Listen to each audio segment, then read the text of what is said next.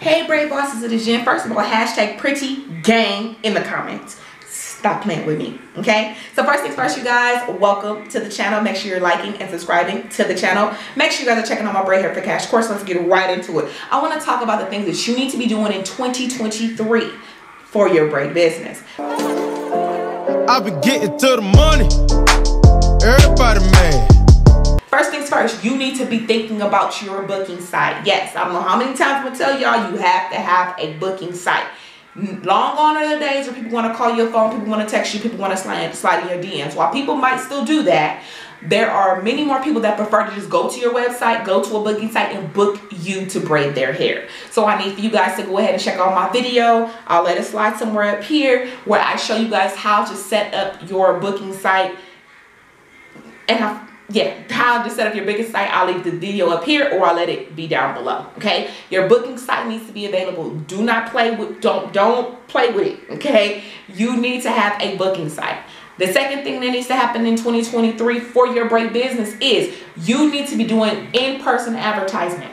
Right? I know everybody's online, everybody talking about online social media. Yes, that is awesome, but we all know that how people usually get your information is yes online but it's majority word of mouth. It's in person. I've told you guys a hundred times and i'm gonna keep saying it. It's old school and y'all don't believe me but you need to get you some business cards. You need to get you some flyers and you know need to go take a saturday or friday whatever day you're available and you need to go drop off those flyers and then business cards to at least five beauty supplies in your area right Yes, that's that might seem old school, it might seem old fashioned. However, it still works. You need to become familiar with the I was gonna I was gonna say the braider markets. You need to come familiar with the beauty supplies in your area so that you can have a good rapport with them so they can um, tell people about your business or minimum allow you to leave your flyers and your business cards at their front desk or maybe they have an area where they have all of that at and you need to be putting your business cards there and your flyers there okay?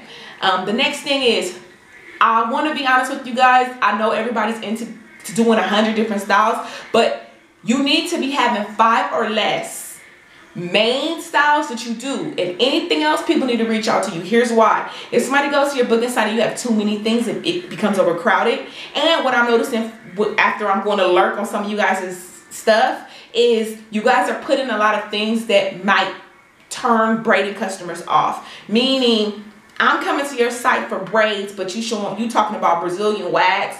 You talking about arching eyebrows microblading. It's like i'm here for braids. I'm not here for none of that so if you're gonna have, and I know that some of you guys run multiple, have a business that offers multiple things, but if you are trying to clean up your braid business and get more customers booking you, when they go to your booking site, it needs to be clean and clear cut. You should have five or less um, offerings or, or braiding styles and anything else they need to reach out to you, okay? Because what comes down to is people get there it's too many things they get confused they're gonna log off and then you you just miss the client. Versus they log on and they're like okay she do um she do micro braids she do box braids she do you know um i don't know flat twist and i don't senegalese braids. I don't know i'm just throwing stuff out there. But if people just see a couple of things and they can clearly see what what kind of site they're on it makes them more likely to buy. When you go there and there's too many things it turns people off and they will leave okay? So you need to have five or less styles that you offer. Of course we know you can start breaking it down. Oh medium is this small is this micro is this but you just want to have five basic braid styles on your site so people do not get confused and they can clearly see what they're booking you for okay? And the next thing is you guys i'm gonna keep saying it you got to pay to play okay? You have to start paying for advertisement okay? You are not the only braider in town. There are other braiders and you need to stand out from those braiders. So if I'm posting something on my Instagram and I'm in Atlanta and the other girl is posting something on her Instagram and she's in Atlanta, but if I boost mine, I'm going to come up before her, right? And when I say boost, that means I paid for my stuff to come up on top when people go searching for a braider in Atlanta, for a braider in Mississippi, for a braider in Arizona.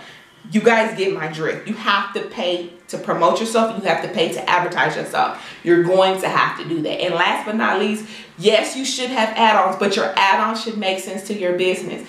I know you might do something different, but a lot of these add-ons or things that take you into another type of beauty business, okay? So make sure you have add-ons that make sense. You might say, okay, um, I do braids and one of your add-ons could be, you know, like you do, a, you, you're willing to braid their beehive for their wig. That's, that add-on makes sense, right? It's like some of these add-ons, I'm like, oh, I, you do henna, you know, like the henna tattooing, like that doesn't necessarily go, but it falls under a beauty business so it can go. All i'm saying is if you're going to offer something extra make sure the extra thing makes sense to a braid business. It should not be something completely different from a braid or let me not say braid. It needs to stand in the same line of a beauty business. You don't want to offer something completely different when you're offering your add-ons okay? So you guys so these are the things that we need to be doing in 2023 to clean up our braid business so that we can get this money so we can be booked and braided. So you guys i'll talk to you guys later